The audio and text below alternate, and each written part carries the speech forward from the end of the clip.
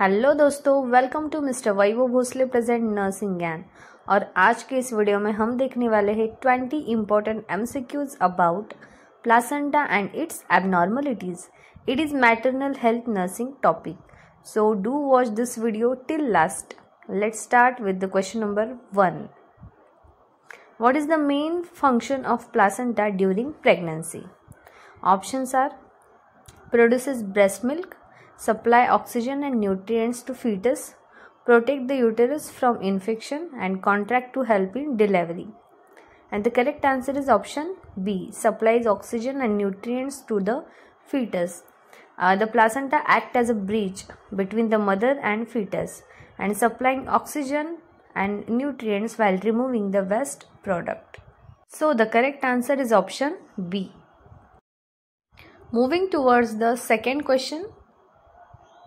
Which hormone is primarily produced by placenta to maintain the pregnancy? Options are estrogen, progesterone, human chorionic gonadotropin hormone HCG and oxytocin and the correct answer is HCG option C.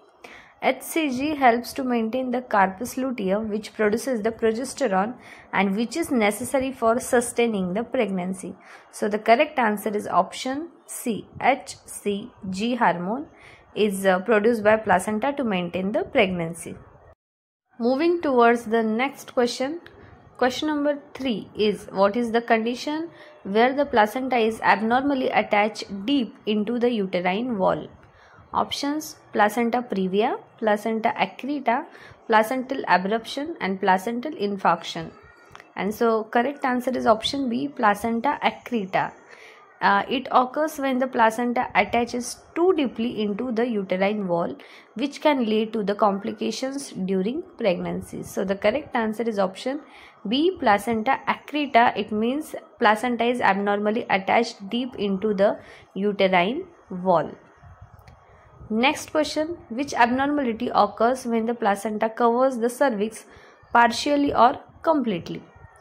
Option Placental abruption, placenta previa, placenta accreta, and chorioamnionitis. And the correct answer is placenta previa, option B. Placenta previa occurs when placenta covers the cervix, leading to bleeding risk and complications during the labor. So placenta previa it means placenta covers the cervix partially or completely. So option B is correct. What is the major symptom of placenta previa? Options severe abdominal pain, painless vaginal bleeding, high blood pressure and excessive fetal movement.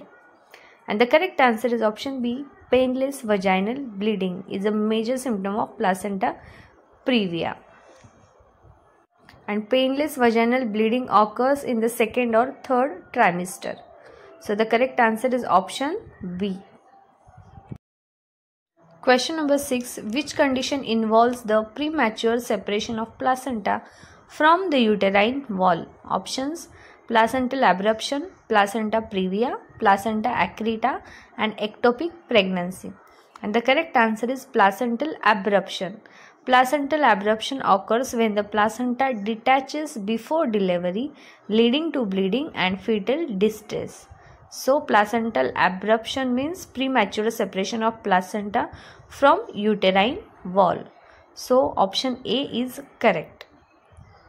Moving towards the next question, question number 7. What is the major risk factor for placenta previa? Option smoking, multiple pregnancies, previous C-section and all of the above. And the correct answer is all of the above. Smoking, multiple pregnancies, prior C-section, uh, it increases the risk of placenta previa. So the correct answer is option D. Next question is which diagnostic tool is most commonly used to detect the placenta previa? Options are MRI, ultrasound, X-ray and CT scan and the correct answer is ultrasound. It is safest and most effective method to diagnose the placenta previa or any other condition during pregnancy. So the option B ultrasound is correct. Question number 9. What is the major complication of placental abruption? Options are postpartum hemorrhage, fetal distress, preterm birth, and all of the above. And the correct answer is all of the above. Placental abruption can cause the severe maternal bleeding. It may cause fetal distress and preterm delivery. So, the correct answer is option D. And the next question is what is the primary treatment for placenta previa at term? Options are normal vaginal delivery, immediate cesarean section, induced labor, and bed rest until labor begins. And the correct answer is immediate cesarean section, option B. Because C section is necessary to prevent the complications due to the placenta blocking the birth canal. So the correct answer is cesarean section. Question number 11. Which maternal condition is associated with the placental abruption? Options are hypertension, diabetes, hypothyroidism and epilepsy. And the correct answer is hypertension, option A. High blood pressure increases the risk of placental abruption due to the poor blood supply. So the correct answer is option A. And the next question, what is the placenta increta? Option, placenta that does not implant properly, placenta that invades the uterine muscle, placenta that grows outside the uterus, and placenta that fail to detach after birth. And the correct answer is option B. Placenta that invades the uterine muscle is called as placenta increta. Placenta increta it is severe form of placenta accreta where placenta grows into the uterine muscle. So the correct answer is option B. Which placental abnormality has the highest risk of postpartum hemorrhage? Options are placenta previa, placenta accreta, placental abruption and none of the above. And the correct answer is placenta accreta, option B because placenta accreta often requires a surgical removal and increasing the risk of heavy bleeding. So, uh, placenta accreta has the highest risk of postpartum hemorrhage. So, option B is correct. Moving towards the next question. Question number 14.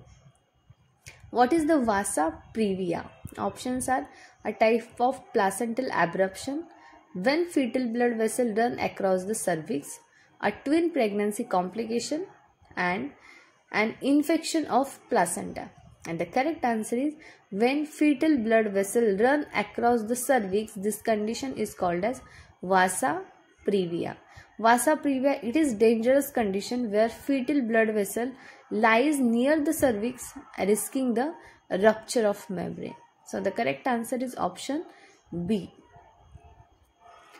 The next question is what is the best management for placenta accreta diagnosed before delivery? Options are normal vaginal delivery, C-section with the possible hysterectomy, immediate labor induction, bed rest and iron supplement. And the correct answer is option B, C-section with the possible hysterectomy. In severe cases, placenta accreta may require a hysterectomy to control the bleeding. So the correct answer is option B. C-section is necessary during the placenta accreta. Question number 16. Which of the following is a sign of retained placenta after delivery? Options are heavy bleeding, severe cramping, fever and all of the above. The correct answer is all of the above. A retained placenta can lead to infection and excessive bleeding if not removed properly. So the correct answer is option D. Question number 17. What is the best way to prevent the placenta previa? Options are avoid smoking and substance abuse, regular prenatal care, avoid multiple C-section and all of the above.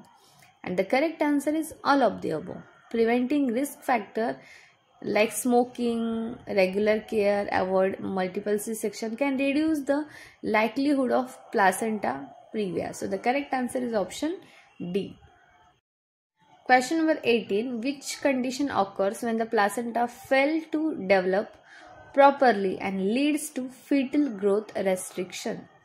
Options are placental insufficiency, placenta previa, placenta accreta, and amniotic band syndrome? And the correct answer is option A placental insufficiency.